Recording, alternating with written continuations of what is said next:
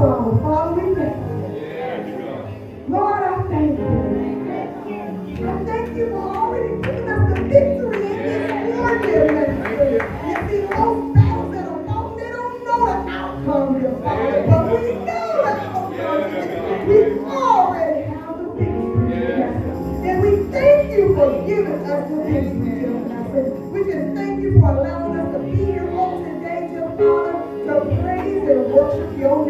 他 们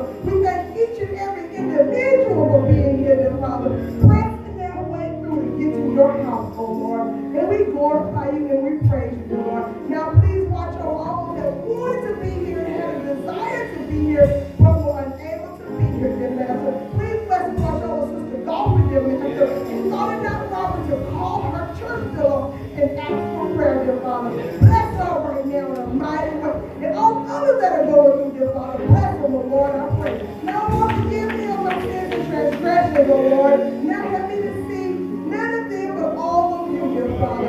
Use me, dear Father, as your vessel, dear Father. Create me a clean heart, oh Lord. Renew right spirit within me, dear Father. And let me allow me to preach your word to your people, dear Father. For this is not my word, it is the word you have given me to give to your people, dear Father. I just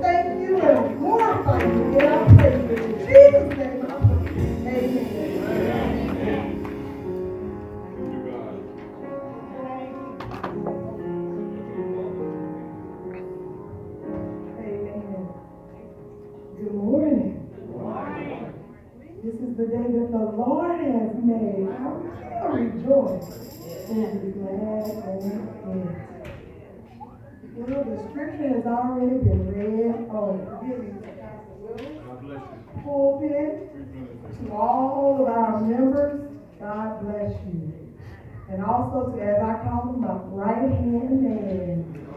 You should have seen me light up when I saw he walked in the house. Because guess what, honey? I still have eyes for only you. I thank God for him. So now, let me get to the thing at hand. The scripture was Matthew 6, 33. And it was read, But seek ye first the kingdom of God and his righteousness, and all these things shall be added unto you. That is your message scripture. We're going to get to that a little bit later. All right. So let me go ahead and give you my title. The title of my message is The Afterthought That Should Be the Forethought. Again, the afterthought that should be the forethought. So let's start off with the afterthought. Now, an afterthought can be a good or a bad thing. Let's first of all define what afterthought is. Mm-hmm. Afterthought is an item or thing that is thought of or added later. Let me ask you this. How do you all think of us being the afterthought? And someone's like, possible. Sometimes it can be a good thing, sometimes it can be a bad thing. all right. For an example, as an afterthought, she said, thank you. Mm-hmm. That's a good scenario. She forgot it first and she, she thought about it, and as an afterthought, she said, thank you. thank you. And she was able to say, thank you. Another good example is as an afterthought, he tipped the waiter. Mm. He didn't leave without giving the waiter the tip. He thought he might have walked away from the table, having a good time, eating, feeling good. Oh, goodness, let me go back and tip. Now, one more good example. There.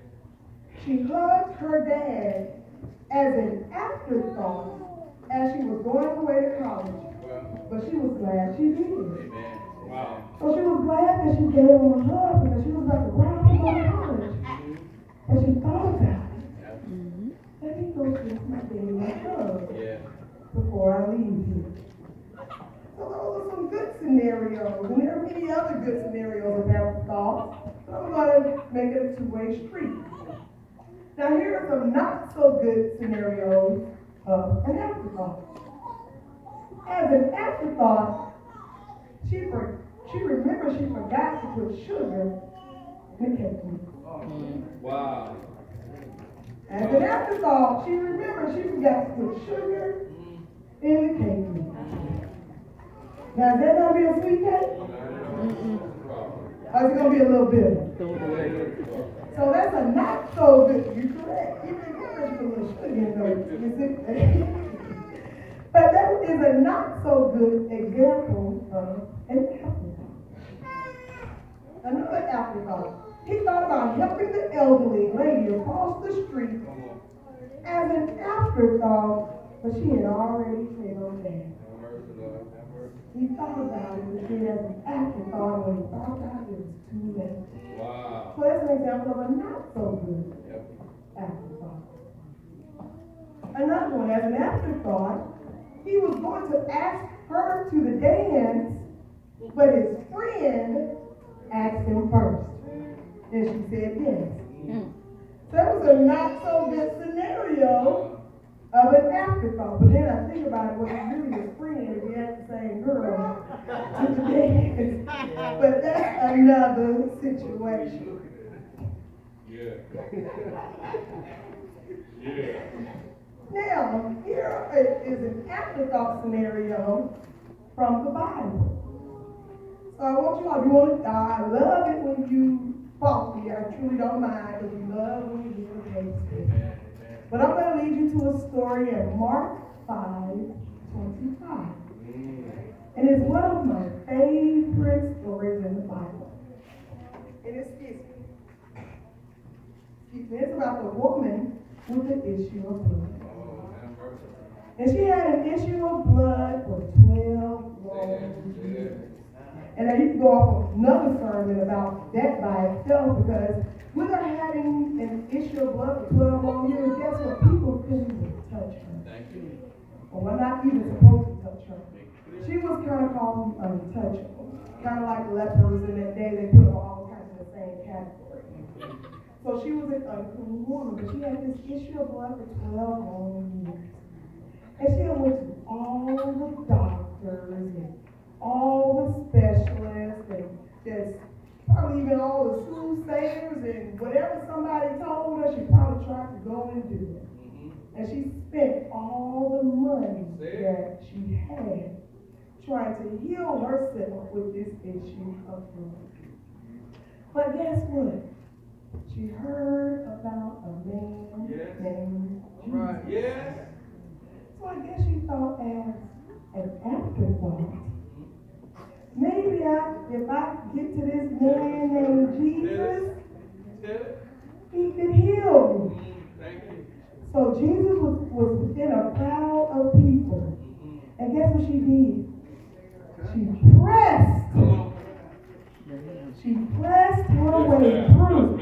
So I can see her. It's a crowd. You know how Yes. celebrities today and things of that nature. You know, Jesus was healing people. So he had a lot of people around him. And she making her way through. She was trying to get through to press her way. And guess what she did while she pressed her way through? She touched Yes. the Time hem out. of his garment. Time out. And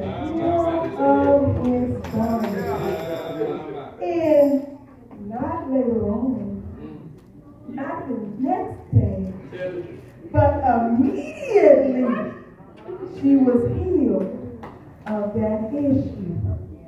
Now guess what? She had spent all her money, went to all the specialists, and this one touch, What? and guess what? Was an afterthought of her disease. So that is a Bible scenario to where the afterthought was an awesome thing. Guess what? It was not too late for her with this afterthought. Now I'm going to give you another scenario of an afterthought. All right. And we're going to go to Luke 16 and 19. Okay, this is another afterthought scenario. And this is the scenario in the Bible of the rich man and the beggar Lazarus. So the rich man was living in all this abundance all the money, all the food. He had everything he wanted here on earth. But he didn't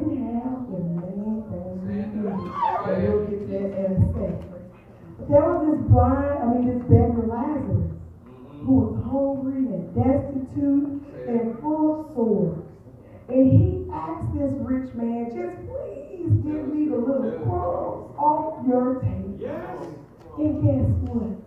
This rich man probably had plenty of leftovers, mm-hmm. plenty of unused things. Told this man no. Wow. He had no compassion for this man. Hmm. Guess who or what had compassion when this man did not? Dogs had compassion for this man. And they even licked the sores of this man to, to soothe him while this rich man who had everything did nothing. Hmm. Well, guess what? The day came about where the rich man died and Lazarus the beggar died. Well, guess what? I tell you, the rich man had everything, but the main thing, he didn't have Jesus. Or at that time, he didn't have God. And so, guess where he lifted up his eyes? He lifted up his eyes in torment in hell. And Lazarus the beggar was safe in the womb or the bosom of Abraham. So because Lazarus had fought the war on earth, he lifted up his eyes, eyes he was safe in Abraham's bosom. Wow. So as the rich man was down there in hell and torment, he thought he still had some food. He thought he still had some bait. So he told Abraham, Abraham, tell that Lazarus to dip his finger in some water. I mean, in the, in the water, give me some water.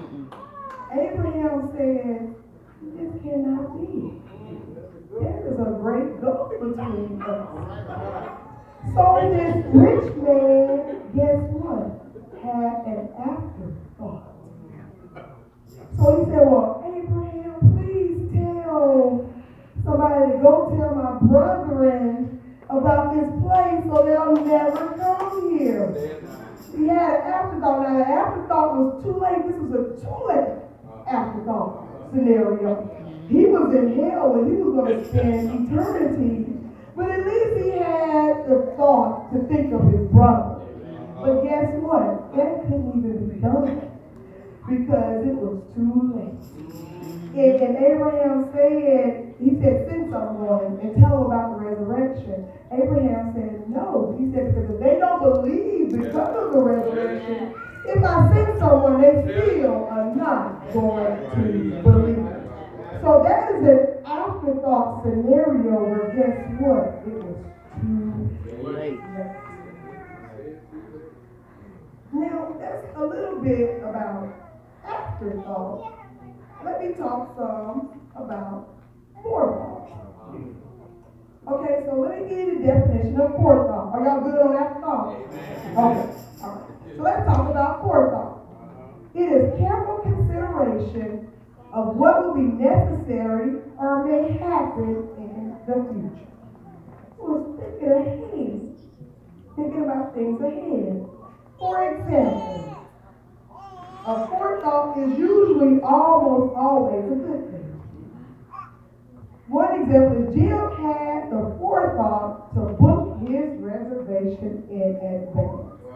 So guess what? Jim didn't have to wait in line because he had the forethought to book his reservation. Another example is Jane had the forethought to get in line for the sale. So she got in line early for the sale. That's another good example of a forethought. One more example of a forethought is Mr. and Mrs. Beulah mm. had the forethought mm. to pay their tithes early. Again, Mr. and Mrs. Beulah had the forethought to pay their tithes and offerings early. And let me say when I get back there because if you pay the tithes early, guess what? You're going to still be later. So if you have the forethought to go ahead and give it off top, you've already done it. You ain't got to worry about, oh my goodness, what time don't come from next because you've already did it. So anyway, that, that, that's an afterthought. Now, you. You. so now let me give you an afterthought in a forethought scenario in the Bible. Uh-huh. I'm going to lead you to Matthew 25. Mm-hmm. Matthew 25. Yeah. And this is about the ten bridesmaids. Yeah. Okay? And I'll read that verse 25. Then shall the kingdom of heaven be likened unto ten virgins which took their lamps and went forth to meet the bridegroom. it, say it. So of course the ten bridesmaids or the ten virgins, as they put them in the, in the Bible, five were wise and five were foolish. Wow. They that were foolish took their lamps with no oil. Fix it now. Let them right to the wind. Fix it. The five that were wise took oil with their lamps. Yeah.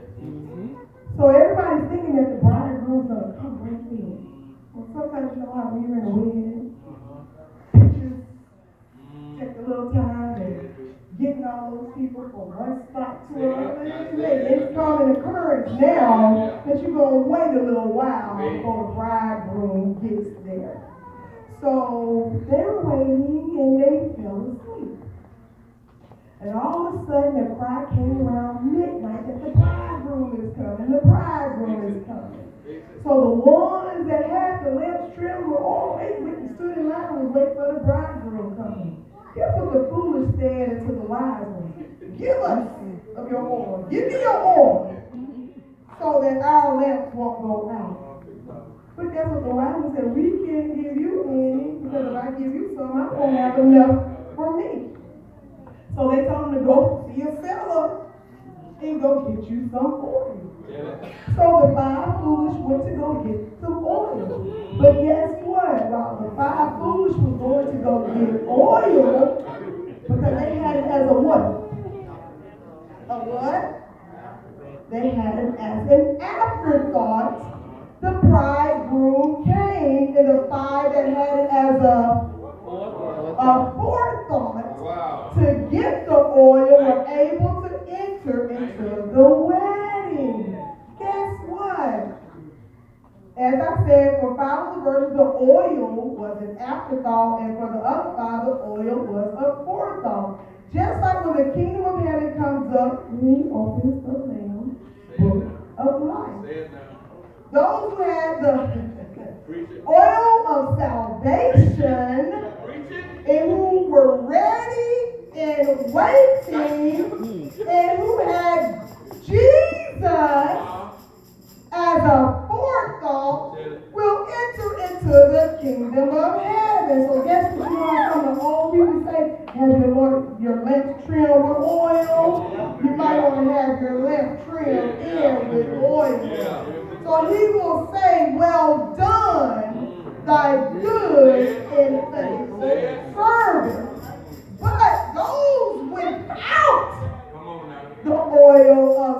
salvation, those who were not ready and who had just Jesus as just an afterthought will not enter the kingdom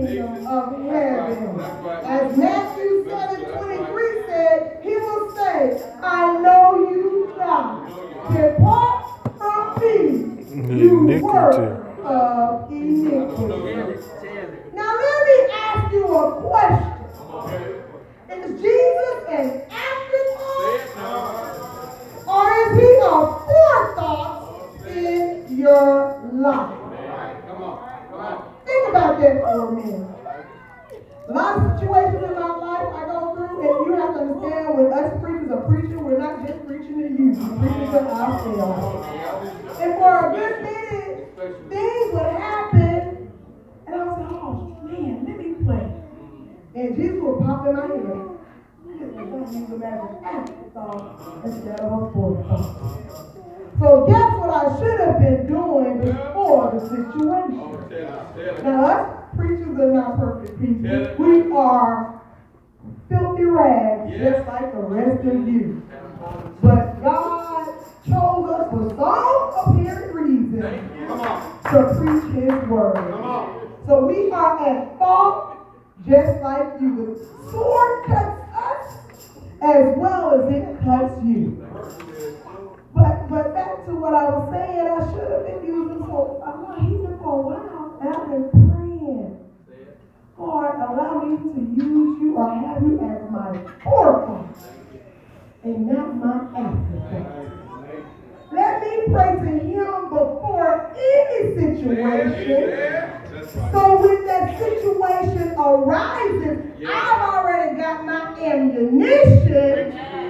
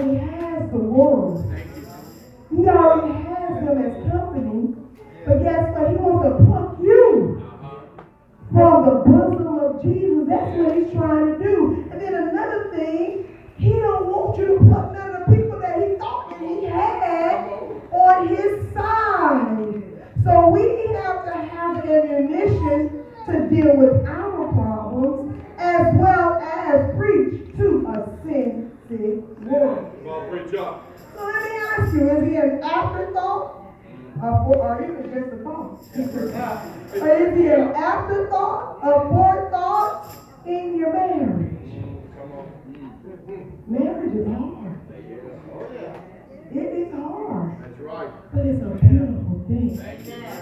But a marriage is conjoined by who? By who? God. So if it's conjoined by God and made of God, then who we need to seek when we're having problems.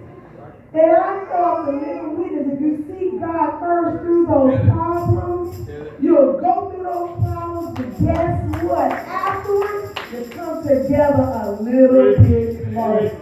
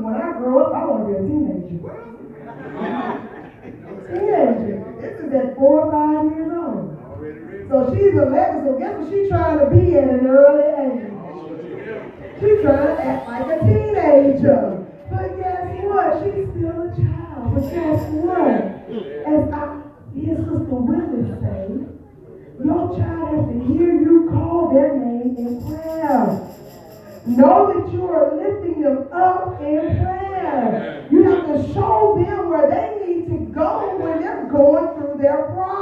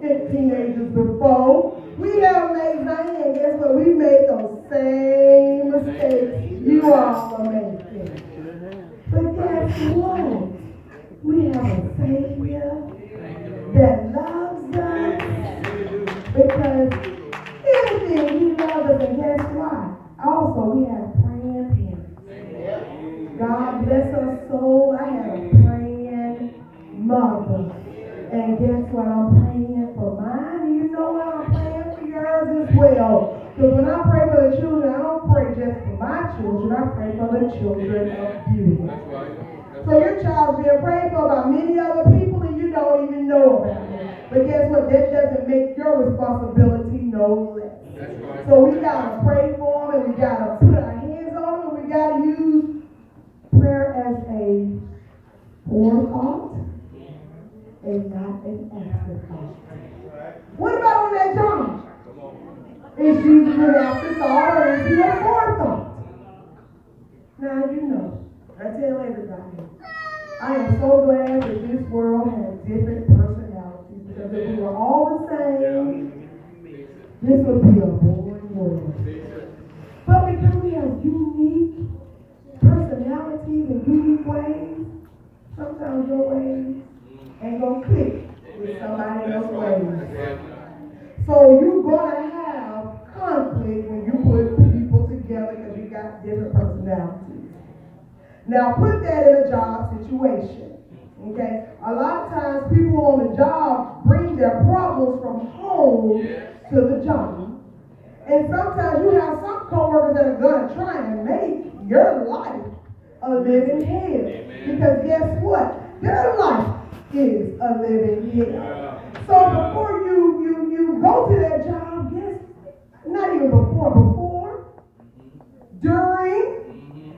after, you better pray and put Jesus as a forethought. And guess what? Let Jesus handle Because you can't change him. You didn't make him. So you can't change him. So you turn it over to Jesus and put him as a forethought and not an afterthought. That's right. That's right. Now let me give you another scenario. What about your church life activity? Watch out. Watch out. I'm the president of this auxiliary. It's gonna go my way. Yes. Are you using yourself as a forethought? Or are you using Jesus as a forethought? I mean afterthought. You put yourself as a forethought and Jesus as an afterthought. But even your church life activities, you need to put Jesus as the forethought. You need to pray about that activity oh on that auxiliary so that it may grow and blossom, not as you see it, but as God sees fit. What about your ministry? Is it an afterthought or is it a forethought? Wow. Because that is what God has taxed you to do. That should be a forethought. Say that, Lord. Say it. Because that is your main responsibility is working your ministry to bring lost souls to Christ. And that is our great commission to go be there, therefore teach all the nations. That is what Jesus left us to do. Another scenario, what about yourself? Your self situation.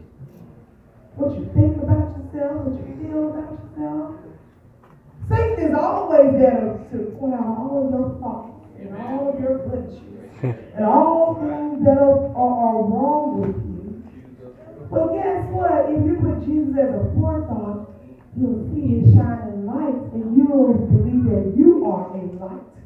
Because you are a light. You know, I have to tell you what my old pastor used to tell me, because God made me and God don't make no joke. What you say?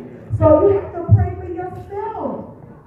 Even if somebody else doesn't do it for yourself, pray for yourself as a forethought and not an afterthought. That's right. That's right.